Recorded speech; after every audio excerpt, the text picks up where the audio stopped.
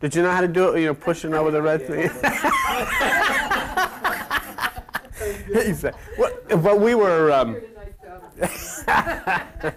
we were talking about uh, we were no we were talking about uh, the um, um, lifestyles of people, and we were talking about homosexual lifestyle, and and you made the statement that what? No, about female impersonators. Female impersonators. Well, well, yeah, but female impersonators, there's a difference between a female impersonator and a transvestite, okay? Yeah, well, all right, yeah, gay bashing, but let- let's say for a minute, between a female impersonator is an entertainer, um, a transvestite is, is somebody who really fulfills themselves becoming female. And that can go all the way through the physical. We've seen them in Key West, strut down the street, you know, in their gold sequined evening gowns and high heeled shoes and so forth. But as far as gay bashing was concerned, what did you say? I said, I think people that get all upset about gays are trying to deny the little bit that's in them. That's a good point. Freedom. You know the problem that I have, and when I hear it from Trinity Broadcasting or Christian places, is the fact that it is Antichrist to do that. Because it is Jesus Christ who makes the specific statement talking about eunuchs. And in that time, not all eunuchs were those who were castrated. There were people who were effeminate people. And he makes the specific statement some are born that way from their mother's womb. And that's totally, you know, eliminated from, from, from, from the Christian ethic as far as understanding this particular problem. Some are born that way. And then he, he, he says something else very strange. He says, Some are made that way for the kingdom of God. You know? And like we were saying this morning, and as some of you didn't get a chance to hear that, there's three people who are homosexuals in the Christian community. And that if you would take them away, what would you have? One of the, one of the homosexuals in the Christian community is Leonardo da Vinci, who painted The Last Supper. He was not only a homosexual, he was an astrologer. And probably the most famous Christian painting ever made was by this guy. And he was the one who painted a picture of John lying his head on Jesus' breast. And he was a homosexual. And he painted Judas as the eighth sign of Saturn from the right. He was an astrologer. Now there's a second homosexual, very famous homosexual and Christian, Michelangelo.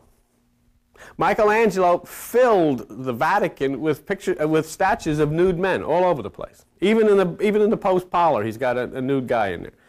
And what they did, probably the most one of the most famous male nude statues in the world, created by Michelangelo. In order to get it into the church, he just titled it David. There's a third. And that's probably the most interesting, because you wouldn't have this Bible without this homosexual. His name was King James of England. He was gay.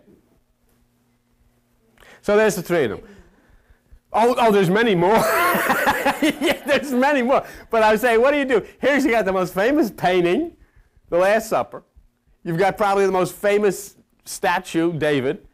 And you got the famous King James Bible. Three gay guys. How do you know King James was gay? Well, because history, you have to read, you read the historical facts. He was gay, he was a homosexual. He was a homosexual. I mean, there's nothing, you know, that they, they didn't hide that. His homosexual activities were very well known. But you have to read history in order to you know, find. But King James of England, who was responsible for the translation of this book, was gay. Yeah, rough speakers like It is, yeah, I know. Uh, we've been having. I, I think it's in. Uh, I think it's in that thing. Anyhow, um, th- those are interesting things. And you know, like what, what he says. How do you know? You have to read. You have to study, and that's where Christians have a problem. I don't mean any aspersions on him. I'm talking about Christianity in general has a problem. They're not allowed to read. They're not allowed to study, and they're not allowed to discuss with one another the facts. So they never know. I have no idea, no way of knowing these things. Because nobody tells them. They pick up the King James Bible and they say this is the only true edition. I seem to, I kind of agree with it. But that doesn't change the fact that the guy who authored it, or the guy who was responsible for commissioning it, was gay. King James of England. Well, and as you said, Arlene, there was many others who, you know, who took part and, and were involved in, in these types of things. And, you know, it's, it's, it's simply that it's fashionable. You know, you have the, you have the people who shoot people on the streets uh, today, and, uh, and then, of course, they're fundamentalists, and then you have the fundamentalists in religion. You have the Falwells and the, and the Robertsons, and they don't have to shoot people, but they, they manufacture all of this political hoopla and, you know, send the boys over there to do this thing. What I thought we'd talk about for a few minutes, because, yes, wait, wait, wait, wait, wait. You can't, because you got to stand up, if, you know, because you see in the back of your head. Wasn't homosexuality more acceptable then? Oh, absolutely. Yeah. Absolutely. In fact, what they used to do in order to try to control the population in places like Greece is that they would ask people to abstain from having sexual intercourse with their wives and they provide little boys. Pedophilia was a, was a very, very prominent thing that went on in Greece and became, you know, a part of the Christian culture was the what we talked about, the little boys who sing in the boys' choirs and so forth and so on, because they didn't allow women to go on the altar. So they had to have somebody to hit those soprano notes, and they had little boys. But pedophilia was a very prominent thing practiced by people such of the ilk of Socrates. And, and it was just never, never, never, never thought about anything like that. In fact, it was a, it was, it was a mark of distinction. They used to carry these kids along to, in, in battle. So, you know, it, and, and, and, and then, of course, when you hear a lot about it in the activity of it in some religious circles, you say, geez, you haven't, really haven't come a long way. And, of course, such a, a horror like that, um, it's, it's, it's really difficult for me to understand how, with any institution, you can simply just throw it under the rug and go on about your business and say business as usual. Because, as, as Jones says, and you know, this is what's so important. If people would get out of church and go into the library and start opening up books and look at the history of these things, they probably would never go back inside the churches. Because they are violent, corrupt places who are built on the blood and sex beyond belief. And, and, and they talk about pornography. And all this pedophilia stuff and all of this sex and all, it, it, it, was just, it was rampant in the early days of, of, of, of church, of Christianity, of all, of all religions. I think probably the only religion that I've ever studied that seems to be free of most of the, the, trappings that we find and we're talking about is Buddhism. And of course, I don't know even when you get into homosexuality if that's the case, but the violent aspect of it uh, seems to be pretty true. Uh, in Buddhism, they even have their um, uh, monks abstain from, from work, at least they did in the early days, because they were afraid that going out and doing work in the fields, they would hurt animals and, and things like that, you know. So this, this, is, this is the important thing. This, this is the point that we have gone into churches and we have taken as quote unquote gospel what was said to us by some man who heard it from somebody else, who in turn was taught by somebody else, who got it out of a book that has been changed 50 million times by anybody. You know, they just sit down and change the thing over and over again, and we just accept all of this stuff as absolute truth and have no understanding where it came from. And so then when you hear things like, I mean, this is, this is the shocker of the night, evidently. King James, who authored the Bible, was a homosexual. Shock. But all you got to do is look at a book. Look it up. Look at a history book. And there it is. But nobody does that. Because you're not allowed to speak those things. But you have to, if you're, if you're going to be much. And what we've done, we've subjected a whole culture to all of this uh, sexual kind of uh, depravity and we've subjected our kids to it. And I think the basis of it has been fear and guilt, which we've authored mo mostly out of religion. Okay. Yes, you have to. You, you, people can't hear you. Yes. But then, do you know, like historically, then what happened to make it so unacceptable? What do you mean? To, to be against the norm. Now, homosexuality is not considered, you know, in in our circles as being normal. Mm -hmm. Okay, so-called normal. Mm -hmm. I'm not saying that that's how we feel here. Mm. So do you know, like in the evolution of it, like what happened was, did the church come in and say it was unacceptable? Yeah, the the uh, the church, the church basically uh, made a statement that uh, the Bible is the literal and unerring word of God, and there are statements in the Bible against homosexuality. Okay. Okay, so that makes it evil. The fact that Jesus said that there are uh, eunuchs born that way from their mother's womb is completely disregarded. The fact the Apostle Paul says that the carnal mind is not subject to the law of God is completely disregarded. And the fact that the Bible is symbolic. Now, when you talk about homosexuality in the Bible from a spiritual standpoint, you're talking about male intercoursing with male, which would be mind intercoursing with the flesh. Mm-hmm. Basically, what is then said, no, you must have a wife, which is male mind intercoursing with female spirit. Mm-hmm. Okay, has nothing to do. I mean, just just analyze or, or think for a minute. If indeed homosexuality is this evil, then God is evil. Mm-hmm. I mean, because the, the creation, I mean, they can talk to me all they want, and, and, and you, I, I can line up just as many scientists to show. I mean, you take, uh, who, who's the perfect example? Liberace could never be anything but what he was. He was not a macho person, he was an effeminate person. And the man tried, and under all types of guilt and pain, he even got married, you know? But why couldn't we honor the man for his talent and allow the man's life to be his own? We're content with that. But the guilt and the sword throwers of, of religion uh, put that man through, and, and so many people through the guilt and, and all of these types of things. Well, do you think they did a lot of it then as a cover-up too, coming at it like A- Aileen said so much that, you know, like when we see the dark side in us, that we will come against it so much. Do you think that maybe that happened too? I think there's a lot of that that goes on because if you if you look at, for instance, uh, the evangelist, uh, the Swaggart, for instance, um, he was always pointing a finger at people about their sexual things, and then he was sneaking out the back door. You see, and maybe it was a way of justifying what he was doing by pointing a finger of guilt at anybody else. Then you know you could justify. You, you, you somehow. Uh, I mean, he didn't actually have sex. He, what he did, he would go into these motel rooms and masturbate while this. So then he could say, well, he didn't. He didn't actually have physical sex. So he could justify this. So then he could point the finger at other people and yet he was still satisfying whatever problems he had. Okay, there's that. Then uh, there's this this terrible mania about giving. You know, slamming people for how much money they get. And, and I think what Aline said just is justifiable in there too, because so many so many of them are stealing it, and, and you know, and, and that's been proven and shown on television. Here you had a guy like Jim Bakker who had a lot of good qualities to him, but you know what did he do? He would say, uh, Albert, if you'll if you'll give thousand dollars, we have records here of people who have called us and said that God has multiplied this 10 times. Oh, here's a lady that gave $1,000 and her husband just got a new job. I'm sure that happened. If you have 50 million people watching something, there's somebody who gave $1,000 and their husband got a new job. But everybody else who got $1,000 got ripped off, you know? But that's, you know, that, and that, and, and, and, and but, but you, you cover this stuff by trying to find some spiritual motive and spiritual reasoning behind it. Uh, in, in the question of homosexuals, I mean, in, in, in the church, in, you know, hey, in the Catholic Church, there's evidently a, a, a tremendous population of homosexuals in the church, uh, which is fine, you know, but just admit it. You know, mm-hmm. don't try to say it, does, it doesn't exist because it does. Mm-hmm. You know, and if you just come out and say, well, this is the way it is, and mm-hmm. honor these people and let them, you know, express themselves, fine. Who cares? It's their business.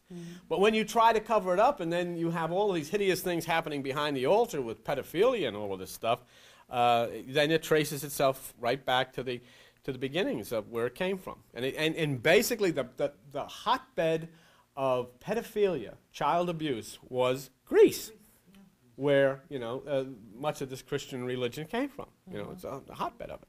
So you know, who knows? But uh, it's uh, I think it's an interesting. It's an, it's an interesting thing for a period of time to have developed where people can start holding these people accountable. We haven't reached that stage. People are still afraid of pastors and ministers and evangelists and so forth. But, you know, they're at a point now of, of, of, of just almost self-destruction with the violence that's going on among them. And, you know, it's, it's, it's time to start holding them accountable. Okay? All right. Uh, anything else? Yes. Oh, wait, you have to uh, stand up. and uh, Yes. And basically, uh, didn't the Catholics emphasize procreation? It was very important for, uh, It's to extremely multiply. important. That's extremely important, and that's a good point. But that is not uh, only in Catholicism. Mormonism uh, allowed people to have more than one wife because you need to build. You know, in other words, it would be if I if we had a structured church in here. I mean, we don't know who comes in the door, who goes out the door, you know. But if we had a structure, it would be great, uh, you know, if you encourage people to have four or five wives and bring them down here, and you, you build a tremendous, uh, uh, you know, group uh, of people. So, but that's true. Procreation was a was a very important part, and uh, basically the Catholic Church's philosophy, as I understood it, and I, I could be wrong because I'm, I'm stepping over the line a little bit, and I haven't studied this one, but that sexual intercourse should be only for that purpose, and that is is that right? And that yeah, only for the purpose of having children, and and and you know, of course, that goes just entirely counter to you to nature. Uh, and, and so it's never been able to work. And then within the structure of the, of the church itself, you have these, these terrible things which have happened. Of course, in our culture today, we've gotten a little bit out of hand with people being hypnotized and, you know, re- remembering that 20 years ago somebody, you know, you know, so that's the way things go. But uh, it's, it's an interesting thing. Um, well, we're going to do Buddha, whatever little time we have to do anything. How long have we been speaking here? 45 minutes. No, have we really? Well, it's 20 after 8. Yeah, well, don't tell them out there because it could be 2 o'clock in the afternoon. Let, let me just show you something that's interesting, and I'll, um, you know, it, it won't take, uh, it won't take you, won't take us very long. I wanted to share something with you um, in Buddhism that I think is interesting. It's very short, and yet uh, I, we did it a long time ago. I think you'll find it fun. Um, and this is the ascension of Buddha. Uh, Buddha had his ascension about a thousand years before Jesus had his ascension. Okay, um, and it says in 1 Thessalonians 4:17, "Then we which are alive and remain shall be caught up together with them in the clouds to meet the Lord in the air." Okay, now we're going to rise and meet the Lord in the air. Very important when you see something like that that you understand the five stages of consciousness that start with earth, water, air, fire, and then renewed mind. The third stage of consciousness is air. So when it says we're going to rise to meet Christ in the air, where did Jesus say we would find him? Inside of us. He didn't say anything about being out over Kennedy Airport or up in the stratosphere. He knew better. When we say we will rise to meet Jesus in the air, it means you rise to the third stage of consciousness and where you will meet Jesus, which is very interesting. Now, looking at 1 Thessalonians where it says we will rise to meet him in the air, Shakyamuni Buddha taught everything hinged on an event in history called the ceremony of the air. Okay? The ceremony of the air. And it's a vision of Shakyamuni Buddha and how he foresaw this beauty of the Lotus Sutra, which is the study of, of, of, of, pain and suffering and an inner renewal encompassing the entire world. And there's a ceremony when all who follow and chant and uh, endlessly lift themselves in consciousness come to this mountain. And the name of the mountain is called Eagle's Peak. That's where the ceremony took place. Eagle's Peak. Okay. And what happens now, this being the um, stage of, of consciousness that we're talking about, Shakyamuni ascends into the air himself, okay, in exactly the same way as Jesus did.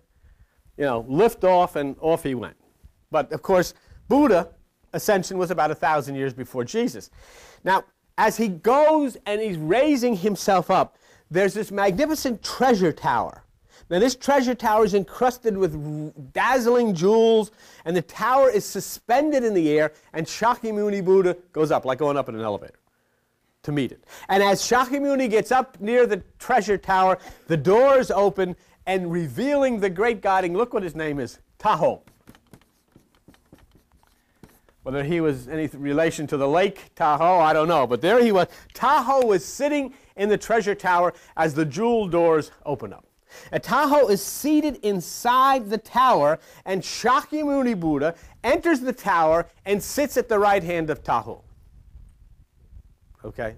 Sits at the right hand of Taho. Now it says in Mark 14, 62, You shall see the Son of Man sitting on the right hand of power and coming in the clouds of heaven. There's a real problem here.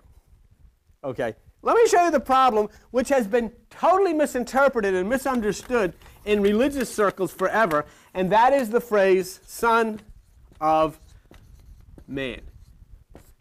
It does not mean Jesus. Okay? The Son of Man is not Jesus. The Son of Man is the offspring of the mind.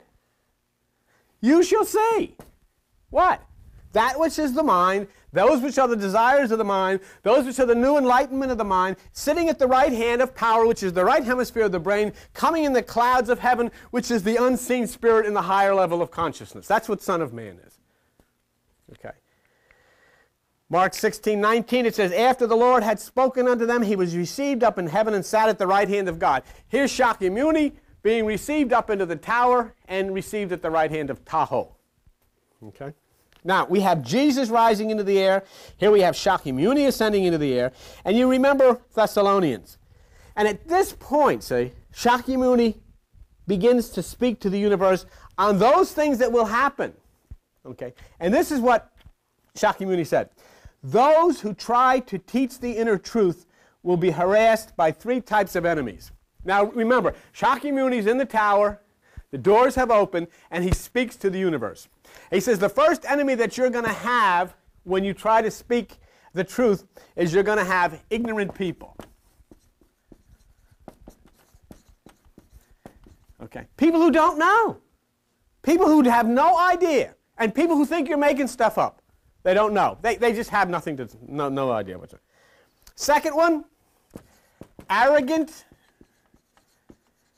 and cunning priests. Religious people. Enemies of God, he called them. And the third one are religious leaders who, fearing they will lose their status or profit, mislead the people to attack those who teach this arrogant and cunning priests, ignorant people, and religious leaders who, fearing they will lose their status or profit, mislead the people to attack those who teach the truth.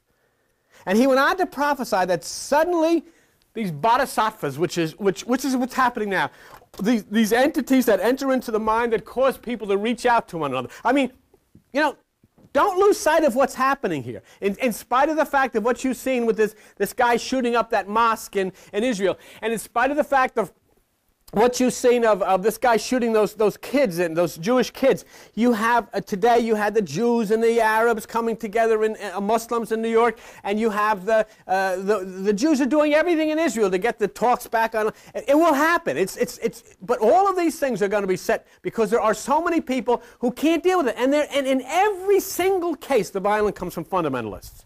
Every single case, what they are. It does not speak of the majority of the people of the Muslim community because they're not interested in such things like this. But there are these people who are, reli- and what a fundamental, basic, a religious person who aligns themselves with politics. And they're the, tr- they're the troubles. Now, what he said, that this beautiful thing will start happening to the earth 2,000 years after his death which is now. Which is now, approximately now.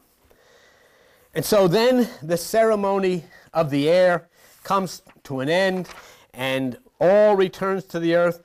The tower disappears, and you know life goes on. And, and, and, I, and I thought it was very interesting, but there was something else interesting too that I, I thought I would share with you concerning Shakyamuni Buddha.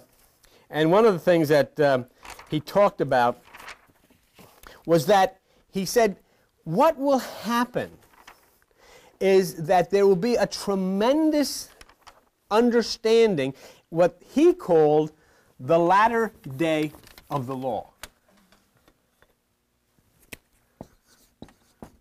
The latter day of the law.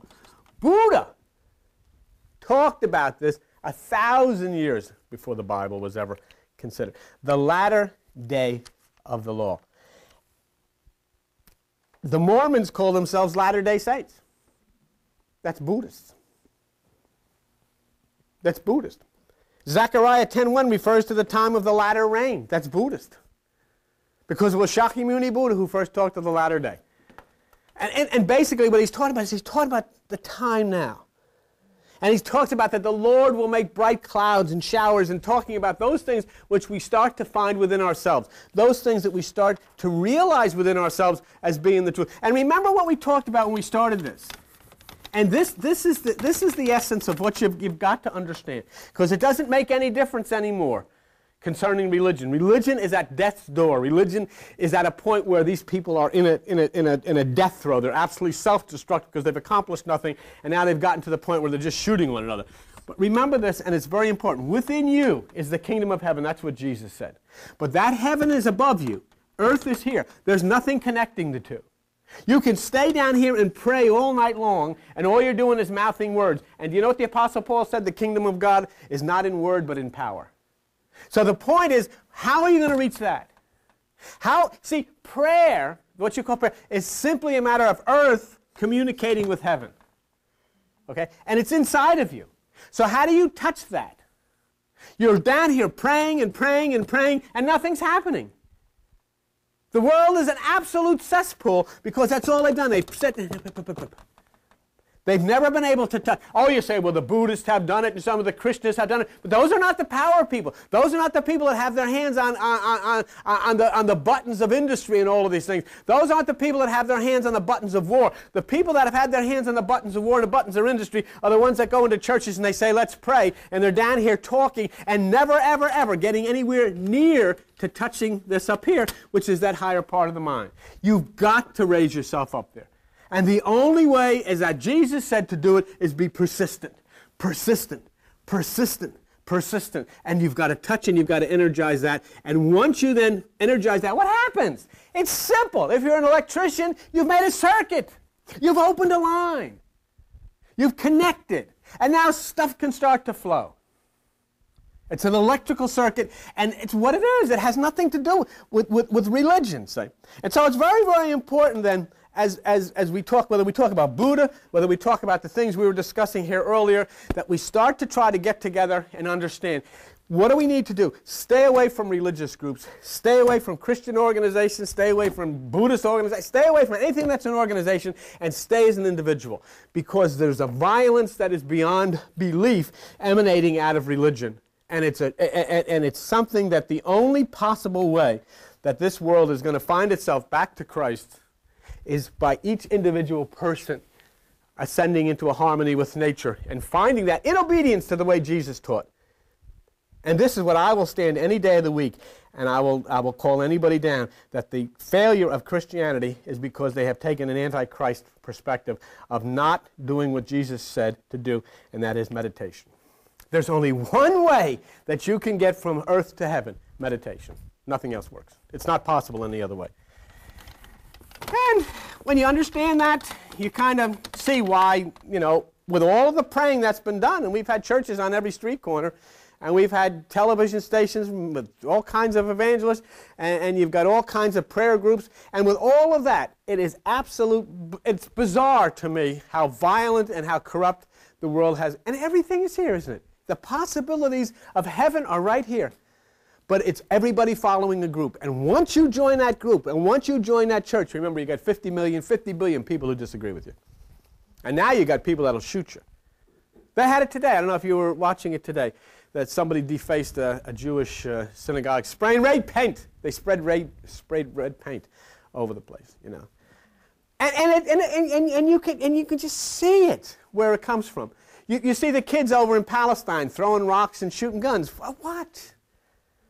Because of their group instead of but if each person functions solely as an individual you know and then they're able to move and flow in harmony with, with everybody instead of saying hey i'm part of this group or you're part of that group. If you're not part of any group then you can work for peace.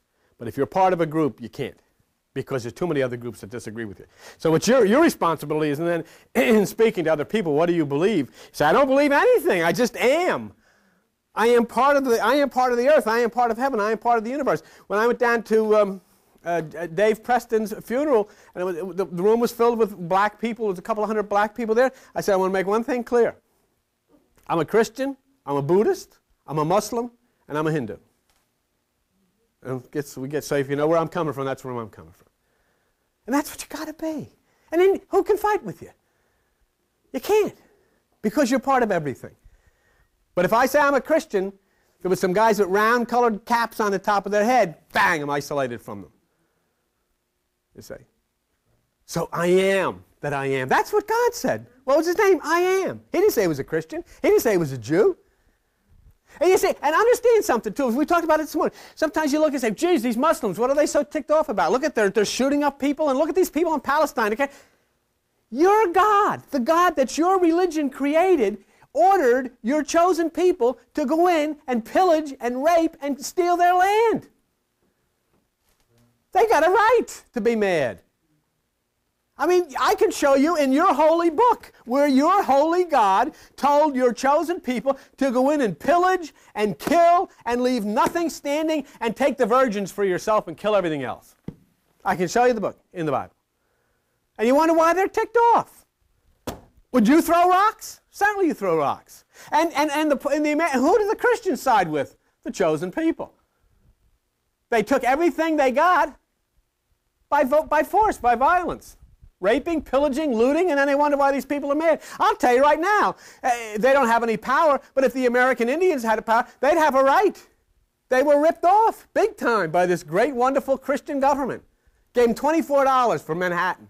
Is this something? You can't even get lunch in Manhattan for $24.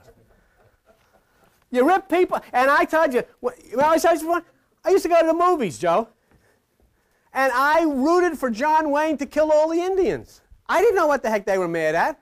They're coming down with their spears and swords or their arrows and, la, la, la, la, la. Ah, kill him. Here comes John Wayne. Yay. The government brainwashed me because the government never told me what they were mad about. I didn't know we were there ripping off, taking everything that there was there. That was theirs. It was their property. Somebody comes into your house and says, I'm taking this. And, and, and uh, uh, what is it? And then the cops come and say, get out. The man wants to have your property. Right? Well, yeah, well, just as bad. So don't, I just beg of you to stay as an individual and follow your own course and don't get involved with these violent religious organizations and, and, and, and just be a member of everything, and including vegetarians and horticulturists and everything else. Just, just, just, just be yourself, and then you won't be in any trouble. And, and, and then you'll be ready for the Christ who has returned. I saw a guy. Did you see this guy on television at TBN today? They have this, this fat guy that gets on, and he's, he's got his big church here, and he's saying, They want to say that Jesus has been seen in California. I tell you, Jesus is not in California. And this way he's talking. Not in California. Charlie's in California. He doesn't understand. That Jesus says, At that time you will know I am in the Father, you and me, and I in you. If there's anybody in California, he's in them. But, but see, they, don't, they won't read what he says. They don't want to know this. They're waiting for the coming of the Lord to rule and reign for a thousand years. And what's the Lord say? My kingdom is not of this world. The kingdom does not come so you can see it because the kingdom is within you. Oh, rip it out. We don't want to pay attention to that. We don't. I wonder if it was hard to learn to talk like that. Huh? I wonder if it was hard to learn to talk like that. They the learn that in uh, seminary school or cemetery school. Oh, yeah. yeah. Just don't get involved with them. You know, let them, let them fall apart. I love, see, I follow Jesus Christ. You know what Jesus Christ said about them? They said, oh, Jesus, look at that beautiful church. You know what he said? Ah, for cock, that there's not going to be one rock left standing on the other. He let it fall. He said, don't look at that. In other words, don't get involved with it. What did he do? He went in the mountains. As soon as the crowds came around, they said, let's sing Amazing Grace. He said, get lost. He went to the mountains. That's my kind of guy. That's the kind of guy you can follow. You go to the mountain with him, sit around a campfire and listen to him, but don't listen to these people. He never did. Little different tonight. I don't even know what we did, but whatever we did, we did. And thank you for uh, sharing the time with us. And uh,